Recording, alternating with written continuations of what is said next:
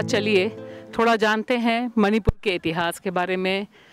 मणिपुर इम्फाल में इस घाटी के पास ये जो चोटी बनाई है, यहाँ पर मणिपुर के जो शहीद हैं, जिन्होंने मणिपुर की आज़ादी के लिए संघर्ष किया, उनकी मूर्तियाँ हैं, उनकी याद में ये पूरा का पूरा इलाका बनाया गया है।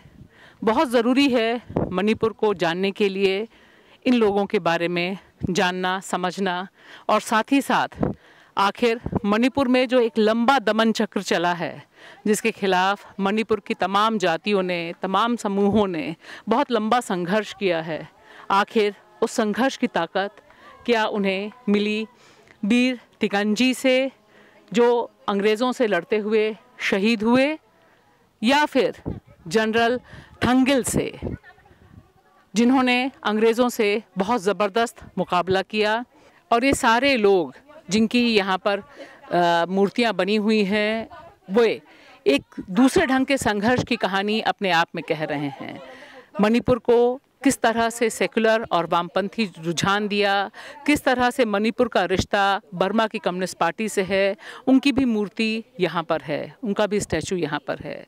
और इससे जानते हुए, समझते हुए बहुत ज़रूरी हो जाता है यह जानना कि आखिर क्यों मणिपुर को आरएसएस या भाजपा ने अपनी दूसरे ढंग की प्रयोग स्थली में तब्दील किया हुआ है? आखिर वह क्यों इतिहास की इस संघर्षशील धरोहर को मिटाना चाहती है? और मणिपुर, जो एक बिल्कुल दूसरे ढंग की साझी संस्कृति, बिल्कुल दूसरे ढंग से धर्मनिरपेक्ष ताकतों का, अनेक जाति समूहों का गढ़ रहा, यहाँ की राजनीति में उसका बहुत लंबा योगदान रहा, जहाँ पर हमें हिंजम रोबोट जैसे व्यक्ति मिलते हैं, जिन्होंने मणिपुर के जिसे आधुनिक मणिपुर के जिनको आर्टिटेक्ट कहा जाता है, ये सारे लोग किस तरह से मणिपुर की विरासत की कहानी कह रहे हैं, यह हमें आपको और सबको जानना बेहद ज़रूरी है।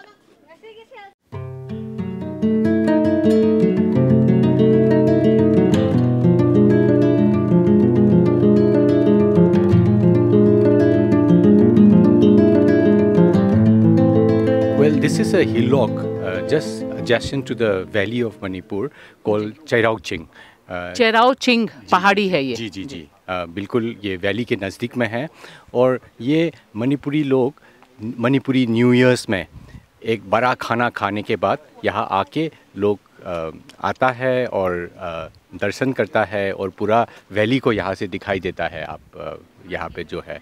और ये एक पेट्रियट्स का मोन्यूमेंट बना है अभी।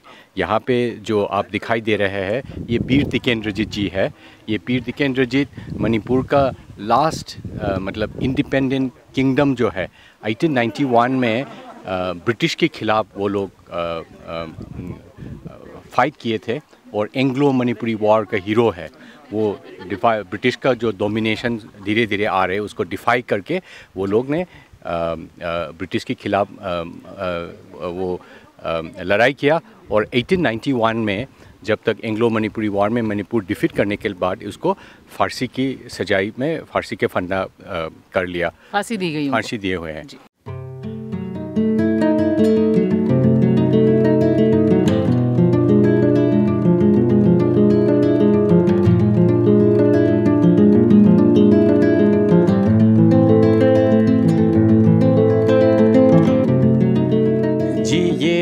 थंगाल जनरल है, ये थंगाल जनरल मणिपुर का 1891 में कोर्ट में सबसे डिग्निफाइड सबसे बुद्धा और उसका ज्ञानी जनरल है। 1891 में जब तक ब्रिटिश लोग ने अपना सॉवरेनिटी को चैलेंज किया था, उसी ने ब्रिटिश लोगों के खिलाफ एक बहुत ही हिम्मत के साथ खड़ा होके 1891 में एंग्लो मणिपुरी वॉर फाइट किया था। तो वो लड़ाई के बाद उसको भी फारसी के फन फारसी करके उसको भी मारा गया है 1891 में।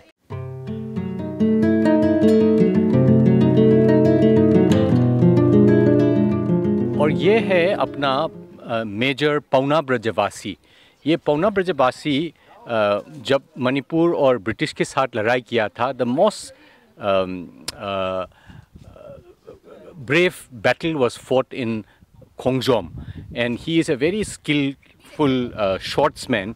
And they said when the British were using uh, cannons, uh, cannons were fired, he could even cut the um, uh, the cannon uh, to diffuse them uh, in the ear.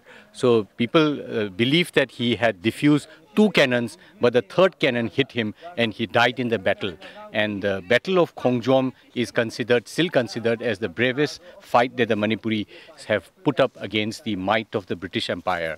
यहाँ पे मणिपुर तो एक kingdom था अ, बहुत पुराने kingdom है मणिपुर का अ, ये एटीन ट्वेंटी सिक्स में एटीन नाइनटीन और एटीन ट्वेंटी सिक्स में तो यहाँ पे अ, म्यांमार का जो बर्मीज़ का एम्पायर अलोंग पाया आके कैब कब्जा किया था।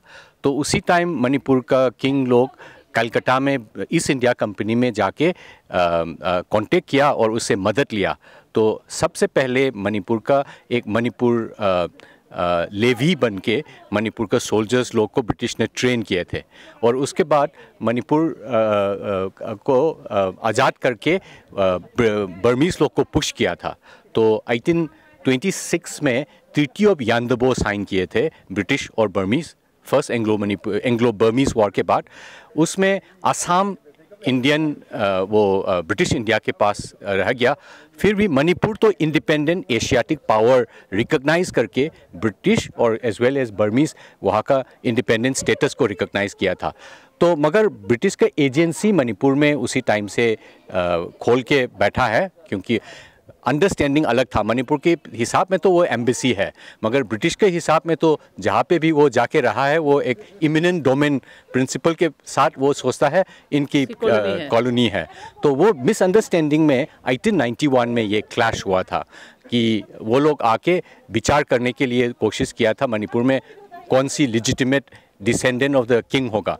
मगर मणिपुर किंग का समझ है कि you are we allow you to stay in a place as a friendly ally तो यहाँ आके uh, हमारे पास uh, ये ज़बरदस्ती क्यों कर रहे हैं?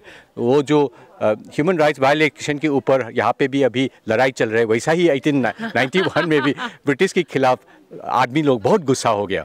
तो जब तक ये ब्रिटिश लोग दरबार से बाहर आए उसी टाइम उसी टाइम एक ये गवर्नर मिस्टर ग्रिमहुड तो उसमें स्पेयर कर दिया एक आदमी ने। उसके बाद थंगाल जनरल ने बोल दिया कि चलो वो लोग हमारा सॉवरेनिटी को डिसरेस्पेक्ट किया है दे डिज़र्व कैपिटल पनिशमेंट तो चार हाई रैंकिंग ब्रिटिश ऑफिसर को उसने मार दिया और उस, उसी में, उसी के बाद ब्रिटिश इन मणिपुर के ऊपर वॉर डिक्लेयर किए थे और three columns came one from Myanmar एक from Cachar district of Assam एक दूसरा फ्रॉम कोहिमा तो वहाँ पे ज़बरदस्त मणिपुर का सोल्जर लोग भी हाँ, संघर्ष चला है। और ये जो खोंगजोम जो म्यांमार से आता है उसी उसी इंडो म्यांमार का रास्ते में है तो खोंगजोम में सबसे बड़ा बैटल फाइट किए थे।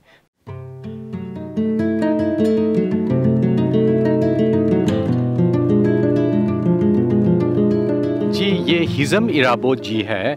हम लोग इसको नेता इराबोट भी बोलता है। ये मॉडर्न मणिपुर का आर्किटेक्ट है। सबसे पहले जब तक मणिपुर में आ, आ, आ, स्टेट के बाहर जो संगठन बनाए थे उसको पहले तो ज़्यादातर हिंदू लोग था, इसको हिंदू महासभा बोल के एक संगठन बनाया था outside of the state structure Irabot ने बोला है कि ये हिंदू हटाना चाहिए और इसको मणिपुरी महासभा करके इसको एक सेकुलर रूप दे रखा है, आई नाइनटीन में। और उसके बाद सबसे पहला मणिपुर में जो न्यूज़पेपर चलाया था, उसी ने ही चलाया। He was a very progressive thinker uh, or revolutionary thinker. He was th- uh, thrown out by the king several times from Manipur uh, because of his very revolutionary ideas.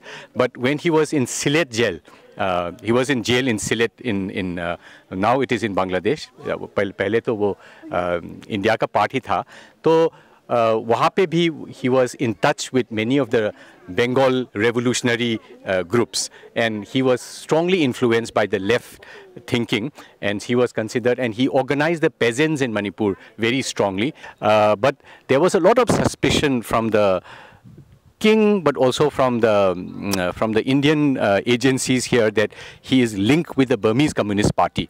One of the reason many people say that Manipur was merged with uh, India was also the the threat that he posed as a as a revolutionary. But his thoughts, his dramas, his songs are very progressive, and he is in a way the person who woke up Manipur from this semi-tribal, semi-feudal um, uh, uh, society to a modern uh, world on scientific lines. So he is still considered in, uh, very dearly by the people of Manipur. Uh, that is why, uh, unfortunately, after um, even though he was a, a member, legislative assembly member, when India uh, merged Manipur, he was against that merger. And there was some uprising in the northern part of Manipur Valley called Pungdongbam, and there was a firing, and some people got killed. And after that, he became underground, and he died in uh, Myanmar, in Burma. He, he unfortunately in 1951. Uh, so he is still a very dear person in the hearts and minds of Manipur today. And mm -hmm. Uh, he represents the uh, new Manipur. New Manipur. yeah, absolutely.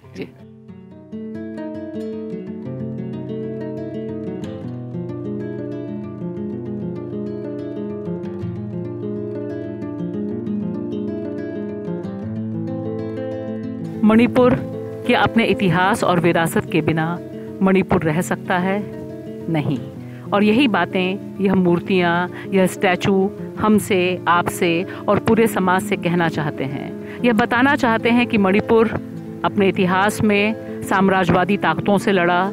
Manipur इतिहास में फूट डालो और राज करो, राजनीति करने वालों से लड़ा और उसने शहादत दी, फांसी का फंदा चूमा।